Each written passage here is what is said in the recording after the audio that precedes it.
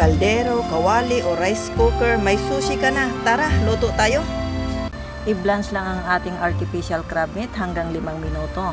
Pagkatapos ng 5 minuto, hanguin ito, himayin lang ito kasama ng ating pipino.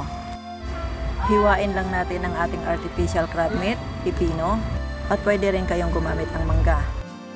Sa malinis na bowl, pagsamahin ang ating cream cheese, Japanese mayo, o kahit anong mayonnaise ang gusto nyo, pwede rin naman. Pero Japanese mayo ang gagamitin dahil mas masarap at malasa ito. Ihalo na rin natin ang ating hinimay na crab meat, pati ang pipino. Pwede rin kayo gumamit ng mangga. Hiwain lang din ito gaya ng ating pipino sa maliliit na parte.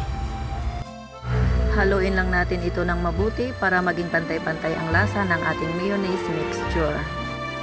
Lagyan na rin natin ito ng ground black pepper, asin at konting asukal. At haluin lang ulit natin ito hanggang magsama-sama lahat ng ingredients.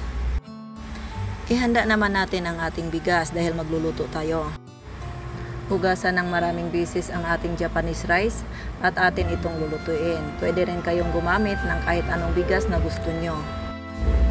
Lagyan natin ito ng honeybee para sa manamis-namis na lasa at sushi vinegar o kahit anong vinegar na meron kayo, pwede rin. Pag ganyang kunti na lang ang tubig, lagyan natin ito ng purikaki na mabibili sa Shopee o Lazada at maraming flavor itong mapagpipilian, haluin lang ito at lagyan ng kunting asin. At pantayin lang natin ang ating kanin. At takpan lang ito para tuluyan na itong maluto. Ayan, pwede na nating ilagay ang ating mayo mixture kanina. Pantayin lang natin sa ating kanin at siguraduhin malagyan lahat ng sulok. Isunod na rin natin ang ating porikaki, huwag natin ito tipirin dahil isa ito sa lalong nagpapasarap sa ating sushi. Lagyan na rin natin ito ng mozzarella cheese or kahit anong cheese or any quick melt cheese pwede rin. Ayan, tingin pa lang, tiyak, mapapaluto ka sa sarap. Maglagay lang ulit ng purikaki at isa lang na natin ito sa mahinang apoy sa loob ng 10 minuto.